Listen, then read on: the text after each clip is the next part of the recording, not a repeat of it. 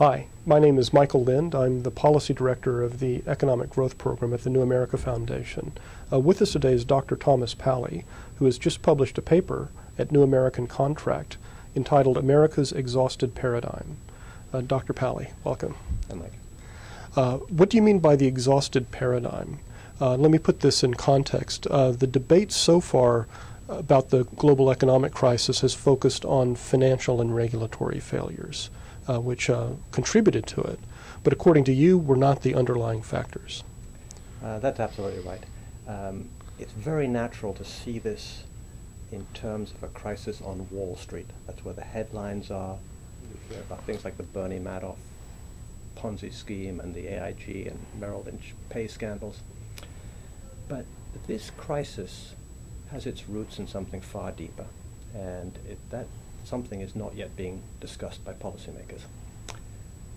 What I say is that going back to around 1980, we changed the nature of the American economy, and we put in place a whole new set of policies that changed our business cycle.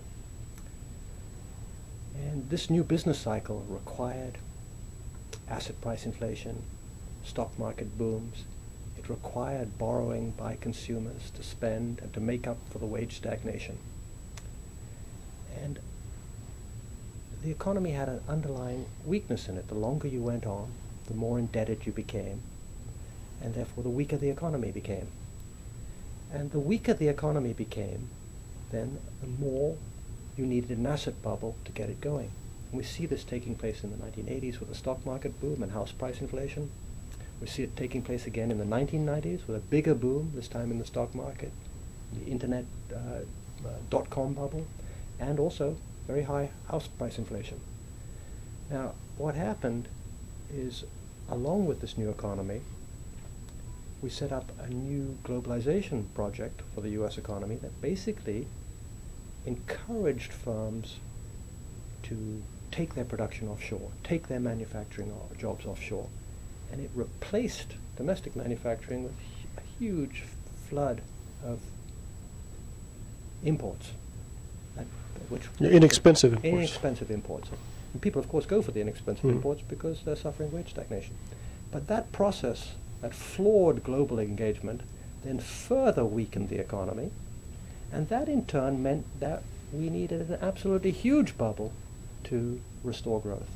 And you, again, the proof of this, you look back to what was going on in 2001, despite very aggressive stimulus policies, low interest rates, we had a long-lasting jobless recovery. And that pushed the Fed to lower interest rates. It did indeed create a bubble, but we needed the bubble to get going. Without those policies, we would never have had a, a recovery at all. But according to your analysis, if those underlying global macroeconomic conditions have not changed significantly, uh, then isn't there a danger that we will just have a third or fourth or a fifth bubble uh, in our future? And if, if we can get out of this pattern of bubbles, mm-hmm. uh, what is your scenario for long term sustainable growth, both in the U.S. and the world? Well, well you're absolutely right.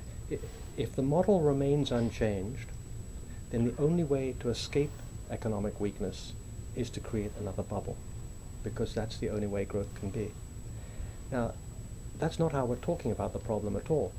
We're talking about the problem as if financial, more financial regulation was needed mm-hmm. and financial uh, incentives were the problem. Well, yes, they are a problem because they produce bad outcomes, but fixing them will not fix the deeper problem. In fact, it sort of sets up a paradox.